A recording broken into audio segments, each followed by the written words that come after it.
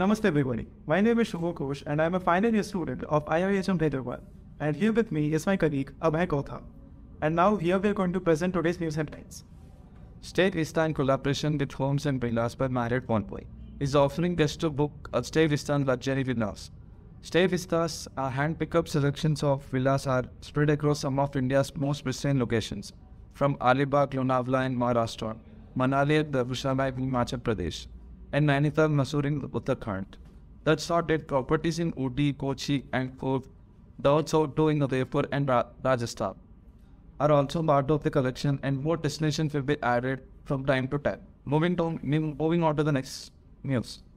Lemon Tree Hotels announced its largest and latest signing of a franchised hotel, Lemon Tree Hotel Manali, in Himachal Pradesh.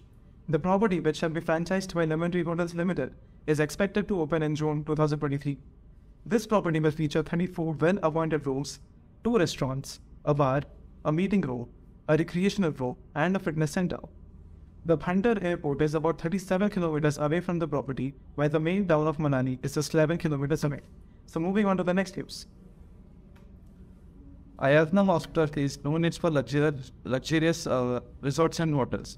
Has completed five years in hospitality industry and with the OT expansion being announced, the company is expected to launch seven new property in 2024. Until 2022, the company has been drastic growth with Coorg and Azora, which has resulted in average revenue of around 60 crores and is aiming to increase the 100 crores by the end of 2024. Uh, started as an authorized brand partner, brand partner with ITC Hotels under the brand Welcome Heritage. Ayatana MOU and ITC facilitated in the establishment of five resorts across Karnataka, Kerala, and Tamil Nadu. The luxury resort and hotel chain have also witnessed a surge in footfall, employee engagement, and hiring activities. Moving on to the next news. According to Technavio, the global hospitality real estate market size is estimated to grow up by 75.36 billion US dollars from 2022 to 27. The market is estimated to grow at a CAGR of 12.25% during the forecast period. Moreover, the growth momentum will accelerate North America will account for 35% of the market's growth. The report also includes historic market data from 2017 to 21. In 2017, the hospitality real estate market was valued at 76.66 billion US dollars. The report provides a comprehensive analysis of growth opportunities at regional levels, new product launches, the latest trends, and the post-pandemic recovery of the global market. Moving on to the next news. Global Hospitality Technology platform OYO has announced that it plans to double the number of premium hotels in India in 2023. It plans to support the surge in the business travel by increasing its footprints across all the major business hall, major cities.